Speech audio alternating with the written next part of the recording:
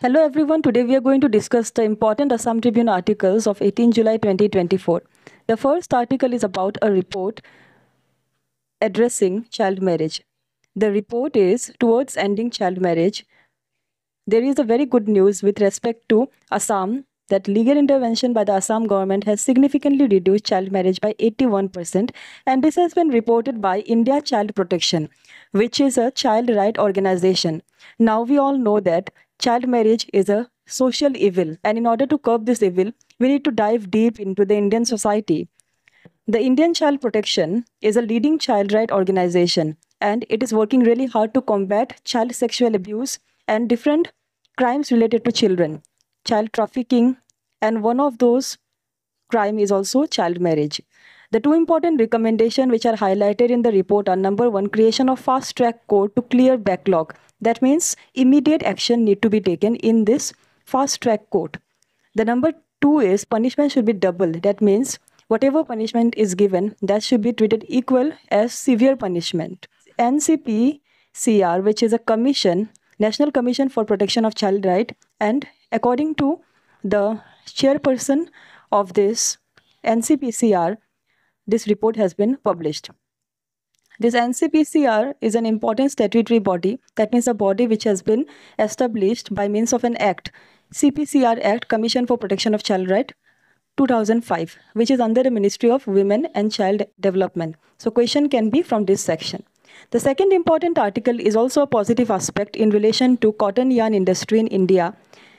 India is aiming to recover cotton yarn industry by financial year 25 since we know that india is one of the leading producer of cotton yarn after china but then there has been an estimated degrowth in the back years. And in order to meet this estimated degrowth we'll have to uplift the domestic demand and also we'll have to uplift the yarn industry. The important cotton exporters are China, US, Australia, Singapore, we all know. And India is second largest producer of cotton after China. So in order to be the first largest, we need to really improve the domestic market. Since Bangladesh, Pakistan, these are the largest importers of cotton, we also have the aim to increase this number of importers. The number third article is in relation to land agreement for Tata Semiconductor project. Tata Semiconductor project, Tata has launched two important semiconductor project points, one in Gujarat and the other one is in Jagiroad, Assam. It has completed nearly 500 bighas for 63 years on lease. And this commercial production of semiconductor chip will lead to development of the Assam technical market and also placing Assam in one of the top technical um, states.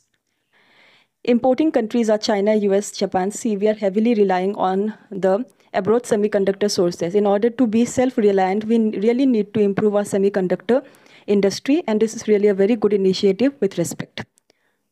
The next article is relation to a marketable product brand which is Jal Sparsh. Tezpur Mahila Samiti and Eco Roots Foundation, they have hand in hand, they have produced marketable product from water hyacinth and this water hyacinth is a plant, Mimosa indica. This plant can be processed in order to produce different articles like bags. EcoRoot Foundation is a foundation and this is this has launched pilot project. Pilot project that means uh, initial project. First of all, these projects will be implemented. If they work really well, they will be turned into major project. project.